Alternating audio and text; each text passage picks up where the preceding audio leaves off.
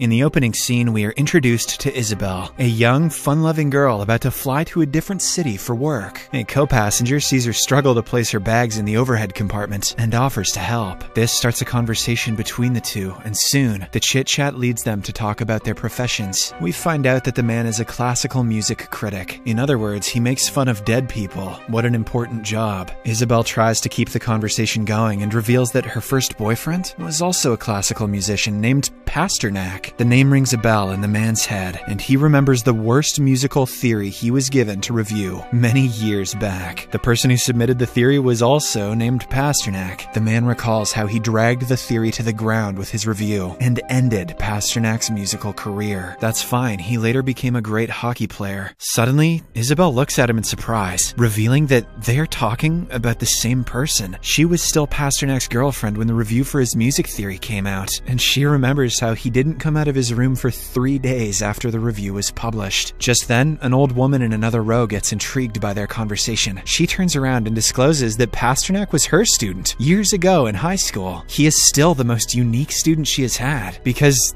he wasn't good at anything. The three look at each other in surprise at the coincidence. But the strange occurrences don't end there. A young man from a few rows in front recognizes the old woman as his high school teacher. As it turns out, he used to bully Pasternak in school. The musical critic recognizes the pattern and asks the other passengers if any of them know someone named Pasternak. When almost all of them raise their hands, it is clear that something is wrong. I'll tell you what's wrong. Pasternak is missing his surprise party. This is further proven when they find out no one on the plane even paid for their tickets. Some of them won it in a lottery, and others were sent by their companies, like Isabel was. The music critic asks Isabel how her relationship with Pasternak ended, and she discloses that she cheated on him with his only friend, who is also seated a few seats back on the plane. They conclude that every passenger on the plane has done something bad to Pasternak, and he has set them up to fly together all at once. As everyone begins panicking, a scared flight attendant comes out and reveals that she was forced to work today by Pasternak, who is the cabin chief of the flight. She is worried because a few minutes ago, the pilots stopped responding and the door to the cockpit is closed. Somewhere else, an old couple is enjoying the weekend by the pool in silence. Their quality time is interrupted by the faint noise of a flying airplane. They do not think much of it until they notice the plane coming towards them. The story ends seconds before they are hit, leaving the viewers to assume the rest. Those old people must have fucked with Pasternak. The second story in the series takes place in a small diner. One stormy night, a politician named Juan arrives at the empty diner, and the only server, Moza, welcomes him.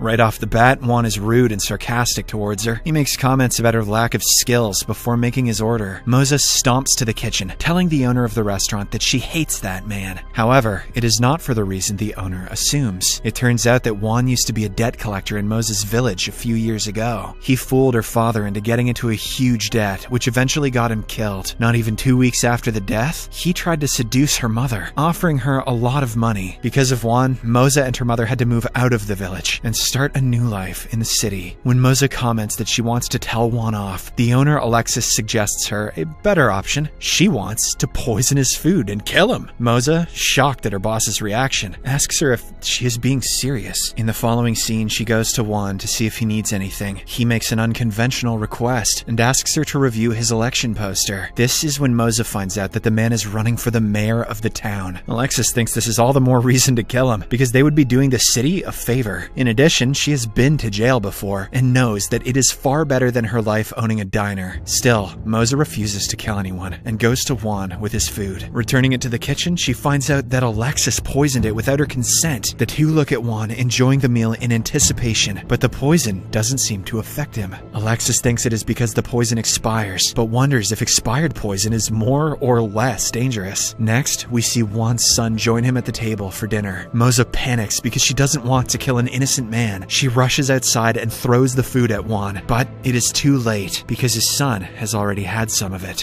Juan burns in anger and attacks Moza, ready to kill her. But before he does so, Alexis thinks on her feet and brutally stabs him to death. The customer is always wrong, bitch. Moza gets up from the floor covered in the blood of her enemy, who is now dead. In the last scene, she and Juan's son are being helped by the paramedics, while Alexis is arrested by the police. She doesn't show any signs of remorse and is happy to go to prison. Still better than a politician, though. At least she didn't say she wasn't going to poison him before she poisoned him. The third story takes place on a deserted highway. A wealthy, stuck up businessman named Diego is driving on his own when he encounters another car swerving past him. Enraged by the driver's lack of driving skills, Diego yells racial slurs at him and gives him the finger. Only a few miles away, he gets a flat tire and has to stop his car right in front of a bridge. He tries his best to fix the tire, but for some reason the car doesn't start. Giving up, Diego calls a mechanic who will be there in half an hour. Right after the call, he notices the car from earlier driving towards him. Knowing that the driver would want revenge, Diego quickly gets inside and locks the doors. As he had predicted, the driver, named Milan, parks his car in front and backs into Diego's car. He goes on to bring out a hammer and smash it several times into the windshield. Diego watches him in frustration, trying to control his anger because he knows he can't do anything. In turn, Milan takes his abuse further by defecating on the car's windshield and peeing on it. After that, he gets into his car and suddenly, Diego's car starts working. Who can pee at that game with burning rage in his eyes? He drives his car into Milan's and pushes it off a cliff before driving away. In the following scene, we see Milan climbing up the cliff, having survived the crash. He runs after Diego but cannot keep up with the car. Just when we think their interaction has ended, something takes over Diego and he makes a U-turn, aiming to drive into Milan and kill him. However, before he can, he loses control of his car and falls down the cliff like Milan did. The latter now has an upper hand. He breaks into Diego's vehicle with a crowbar and gets into a fight with him. They struggle for a long time before Milan manages to Diego off the car with the seatbelt wrapped around his neck. He then sets fire to the gas tank, hoping the car will explode and take Diego with it. But before he can get off, the businessman gains control of his position and holds him back. Back on the bridge, a mechanic arrives and witnesses a loud explosion before hurriedly calling the police. In the last scene, the police are examining the burnt car. The dead bodies are together, which they assume is because they were trying to save each other. The moral of that tale is that roadside assistance takes too long to get there. The fourth short film is about an engineer named Simon. One day after work, he goes to a bakery, excited to buy a cake for his daughter's birthday. On his way out, Simon notices his car is missing and finds a parking ticket on the ground. It turns out that he parked in a restricted zone, which he could have never known because the curb isn't painted yellow. Even though he is getting late for the birthday party, he decides to go to the DMV office first to file a complaint. To his utter disbelief, he is asked to pay the parking and the towing fee before he can make a complaint about the unpainted curb.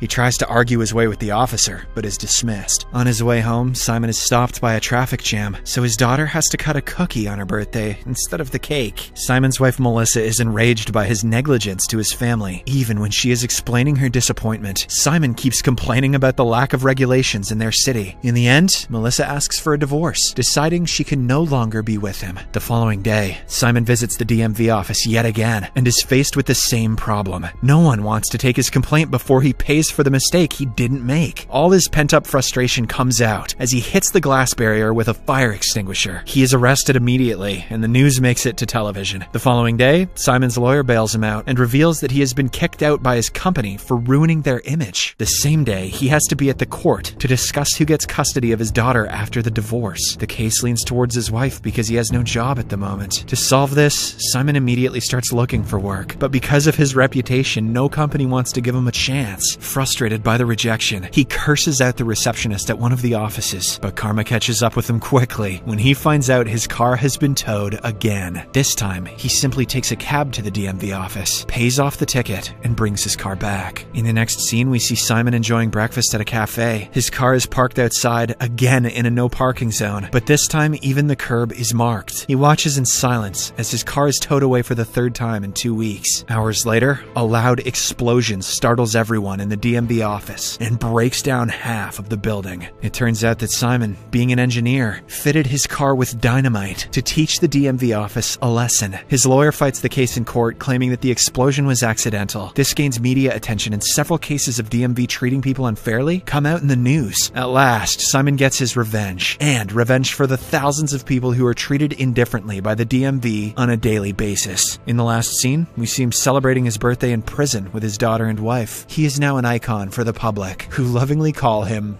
dynamite. The moral of that one is if you got a problem with the government, just skip straight to the killing. The fifth story starts at the break of dawn when a young man named Santiago drives home from a club. He goes straight to his parents' room and wakes them up in a hurry. A few hours later, they are watching the news on the television about a hit and run case. It is revealed that Santiago accidentally hit a pregnant woman with his car and killed both the mother and her unborn baby. These are getting darker as they go, aren't they? Santiago's father, Romino, is a wealthy businessman, willing to do anything to save his son from going to jail. The family of three panics and calls their lawyer, telling him everything that has happened, and the man promises to get them out of the situation. They are well aware that the police will find the car sooner or later, hence, there is no benefit in staying quiet. The lawyer is brainstorming ideas when suddenly his eyes land on the housekeeper Jose working outside in the garden. In the next scene, Romino and Jose are sitting in front of each other in his study room. A worried Romino tells Jose everything about the accident and offers him half a million dollars to take the blame for his son. If Jose accepts the offer, the lawyer swears he will get out of prison in less than a year. In addition, his family will not have to worry about money a day in their life. Jose accepts the offer without thinking about it twice. Next, the lawyer takes him to the wrecked car and makes him leave his fingerprints all over the steering wheel. He is also asked to drink a bit of whiskey to make the story seem legitimate. The police arrive right after, and the lawyer tells them the made up story. Jose also admits to the crime, but the sheriff insists on looking at a few more pieces of evidence before arresting him. He asks Jose to get inside the wrecked car and instantly notices the mirrors are arranged in such a way that he cannot see through them. This means that someone way taller than Jose was driving the car. Seeing that the truth is about to come out, the lawyer bribes the sheriff and brings him to their side. Romino is told that he will have to pay them a few million bucks to get out of the situation. Even Jose demands for an expensive apartment, annoying his boss. The four men gather in Romino's study room to talk about their cuts. They try to take advantage of the situation he is in, demanding an absurd amount for different reasons. Suddenly, Romino loses interest in the matter and tells everyone to get out. He is ready to let his son go to jail then to fulfill their demands. The others think he is just bluffing, but when he goes into his room and locks the door, it is clear that he wants to end the deal. A few hours later, a crowd is gathered outside the house, having discovered where the killer lives. Romino's wife tries to convince him otherwise, but the man remains adamant. Then, the lawyer comes to him with another deal, demanding only $3 million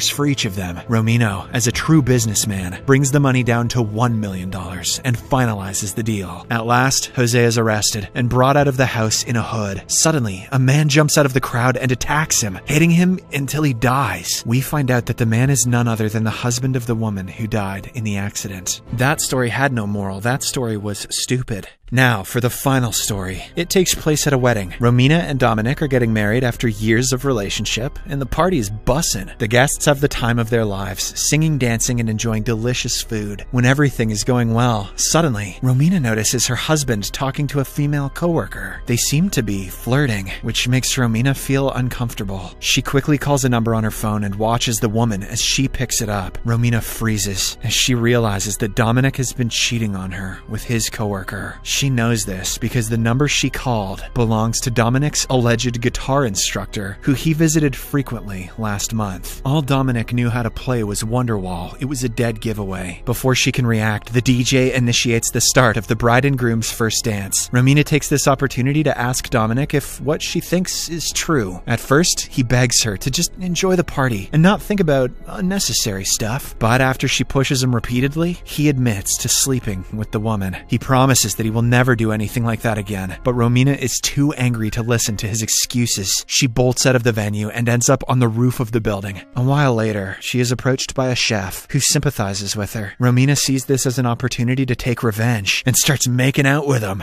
Boner appetit. When Dominic arrives, he sees his wife and the chef making love. Romina shows no regret and instead threatens Dominic that she will take all his property and leave him with nothing. Dominic falls to the ground vomiting, giving her an opportunity to go back to the party. She acts like nothing happened in front of the guests and asks them to enjoy themselves. The party is filled with laughter and dances once again. A while later, Dominic arrives and is pulled onto the dance floor. Before he knows it, Romina is pulling his mistress to dance with her. She goes absolutely manic and throws the woman into a glass door in the middle of the dance. In the next scene, the paramedics are on the scene, taking care of the women. Romina still acts like nothing is wrong and hurries her friends to start the wedding games they had planned. Dominic finally loses his cool and yells at her in front of the guests. His mother takes it further and attacks the bride before being pulled away. The doctors sit everyone down to measure their blood pressure, trying to calm the situation. Just when the guests think the chaos has ended, Dominic gets up and holds a knife. He surprises everyone by cutting the wedding cake and taking a huge bite of it. Shit, Dominic, I thought you were watching your calories. At last, he walks up to his bride, spreading his arms for a wedding dance. To everyone's surprise, they start making out on the middle of the dance floor. When things start getting steamy, they leave the venue quickly, leaving the newlyweds by themselves. The movie ends as the two make love on